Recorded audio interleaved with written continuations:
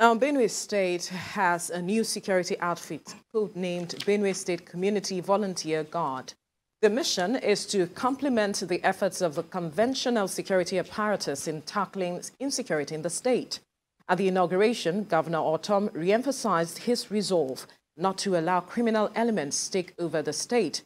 Mayowa Okwato reports. Benue State has been one of the red spots identified due to errors on communities communal crisis, and other forms of crime.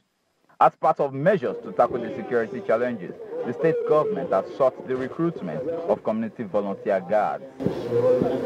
Here are the first batch of the state volunteer guards. Their training began on the 29th of June 2022 and ended on the 12th of July 2022 with 500 participants drawn from the 23 local government areas. The governor noted the need to revisit the Benue State Vigilante Law of 2000, which was enacted to complement the conventional security agencies in the state to address emerging security issues. The conventional security agencies in the state to address emerging security issues. The law had to be amended by my administration to pave way for the volunteer guards to assist the conventional security agencies to curb insecurity in Benue State.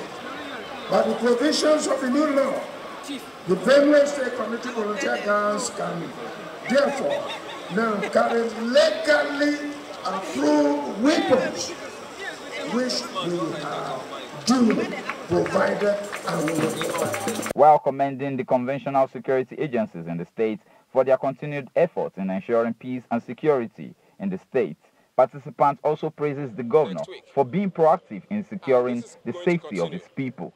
When you have people from the communities giving you intelligence, you have a better society because they know each person in those communities. So for them to inform you that, look, we have a strange face in our community, you, it takes a member of that community to identify a strange face.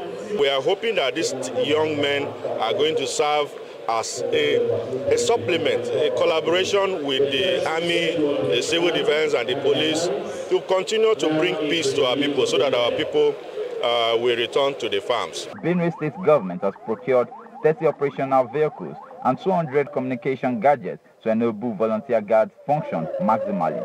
It therefore appeals to all the good people of Benue State to cooperate with the volunteer guards by providing information that will assist them to discharge their duties stressing that security is everyone's business. Mayowa Okwato, TVC Makurdi.